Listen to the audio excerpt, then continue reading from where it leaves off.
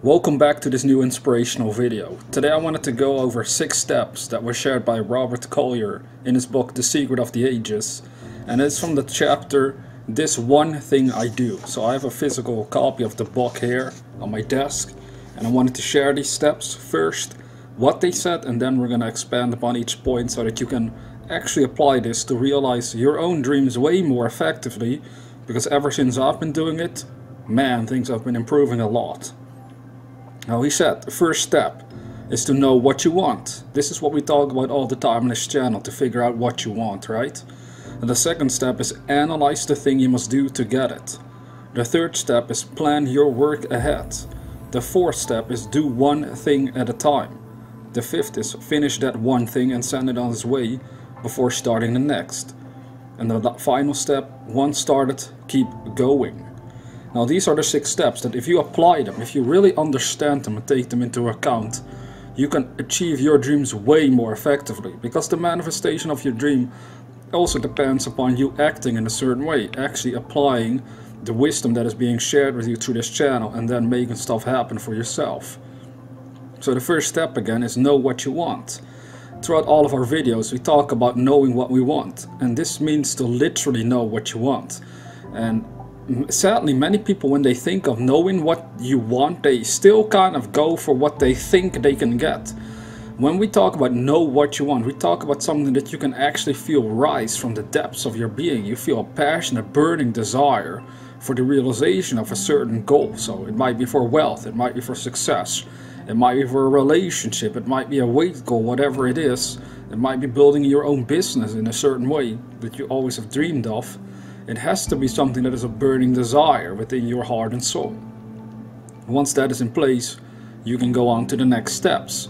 So for me personally, running this channel and building it up is a burning desire. I'm not even joking. This is something I really, really want to build up. I really want this to succeed. And you can all help me to succeed by sharing these videos wherever you can. Wherever you feel like it's appropriate to share them. Whether it's on your own social media to friends who study this material.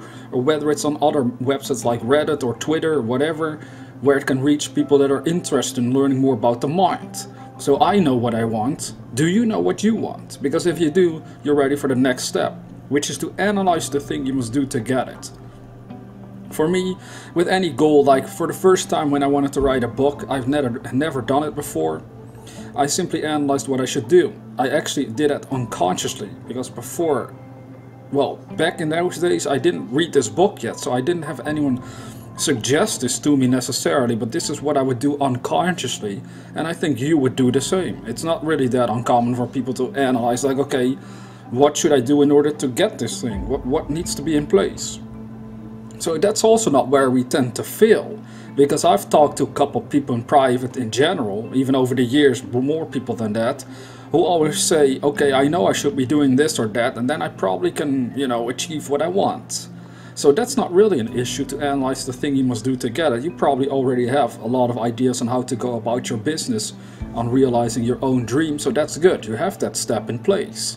But these six steps have to work in a in harmony so that it really makes a difference in your life. So the third step is to plan your work ahead. Now this simply means that you already you see planning your work ahead is really a really a good point now that I actually am going over this with you because if you think about it, if you have a day job right now that needs your attention you might not be in a position to effectively act on your dreams all the time because of this day job. This is why planning your work ahead is so useful because then you're going to decide for yourself, okay, during those hours and minutes of my day, of my life, I'm going to work on my dream specifically. Most people, this is already where stuff starts to go bad for most people, is that they have the, the first two things in place. They know what they want. They have analyzed sort of, maybe not even to great depth, but at least sort of analyzed what they should do to get it. But they are not planning their works ahead of themselves. This is because they don't really believe that they can realize their dreams. But if you just start to plan your work ahead, where you've analyzed certain activities that you need to be involved in in order to make your dream a reality, you start to make plans for those dreams on when you can act on them when you can execute those things that are important to do, where you feel and know this must be done in order for me to express and realize my dream. So I'm going to plan it, I'm going to stick to that plan, I'm going to execute it, and then, you know, stuff starts to move into form with and through you. Now the fourth step is do one thing at a time. I like this. For YouTube, you know, this is exactly what I do. Do one thing at a time. When I'm working on a video, even right now, I'm not thinking of any past videos I did or any future videos I will still make because I already have planned ahead multiple videos. That's usually how it goes for me. I have a document with all sorts of video ideas that I simply go over as time ticks on, but I don't focus on them as I'm working on this video. It makes sense, right? My whole conscious awareness is focused on this activity. Now that's what you want to start doing when you're working on your own dream. You have to learn to focus all of your attention on the activities that you need to execute in order to make your dream come true. You see, most people are all over the place because physically they might be involved in this activity, but you have to understand mentally, mentally, emotionally, you also have to be completely focused on what you're involved in. And you see what happens for many people is they work on their dreams, perhaps physically, but then mentally or emotionally they're full of doubts or they're thinking about all sorts of other things that are totally getting in the way of them actually properly working on their dream and making stuff happen. So this one thing I do, do one thing at a time. So whatever those activities are, in my case it's making a video for example, I focus on that one thing, I don't let anything else distract me, I don't have time for that. That's how intense you have to be as well. And you can do that by again planning your work ahead, where you have a set amount of time where you know, now I'm going to focus on these activities again that need to be executed. The fifth step is finish that one thing and send it on its way before starting the next. Well, it's pretty obvious in the case of YouTube again for me finish that one thing and send it on its way before starting next simply means okay I have to finish this video I have to edit it together and then I have to upload it on my channel and then I send it on its way to reach whoever it's supposed to reach whoever it's supposed to help I just let that up to the universe I don't really worry about how many people is it reaching, who is it reaching, this and that, all these little details that only create chaos and panic in your mind if you don't watch out. I just let it, let, let it do whatever it is meant to do. And then I go on to the next project, in this case for me, the next video. So after I'm done with this video, since I have this list, if this one is finished, recorded and edited, I can just focus on that next video and work on that, do these steps all over again. The final step is once started, keep going. So basically, once you start living in this way, you want to keep going in that way. So the easiest way for me to sort of hint at what we're getting at here is if I take all these six steps and condense them into how I apply them for, for example, building this channel, I know what I want. Okay, I knew I wanted to have an inspirational channel. Analyze the thing you must do to get it. Well, in order to get an audience or to build something on YouTube, I need to create content. Okay, I already had experience with making content for a couple years, so I already analyzed many small details on what I should do in order to make the sort of content that I want. So now I can make it and you're witnessing it right now. Plan your work ahead. Yes, I already have a list Always, every day, I have ideas floating into my mind that I know I should act upon and I just write them down. I don't always act on them right away, but this is the thing. By writing them down, by writing these ideas down that will come to you as well as you focus on your dream, you're planning your work ahead. So at least you have a plan of action that is based on inspired ideas coming from God itself, the universe. Do one thing at a time. In my case, I work on one video at a time. It's pretty obvious. How could I work on multiple videos all at the same time? That makes no sense. So for you as well. If you know what you want, you're going to have to analyze all the things that need to be done in order to make it a reality, then do one thing at a time. For me it means building a channel means focus on individual videos one at a time and just post them and keep posting them consistently. And for you, if it's not being a YouTuber, you will see this still works, no matter what it is. It's like with writing a book. You're going to have to plan your work ahead. Okay, are you going to write a chapter a day, or at least work on a chapter each day? Do one thing at a time. Well, work on one chapter. Are you, do you see what we're getting at here? Now finish that one thing. Finish this one video. Finish that one chapter. Finish making that, that call to a client. Finish doing this or that.